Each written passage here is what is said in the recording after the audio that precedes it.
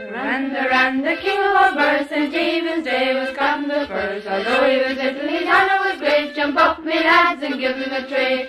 As I went out to Killenaule, I met a ran upon the wall. Up with me wattle, I knocked him down and brought him into Carrick Town. Drolling, drolling, with your net, tis in the bush that I left it. Tis in the bush of the holly tree, for all the boy to follow me. Up with the kettle and down with the pan, and give us a penny to bury the ran.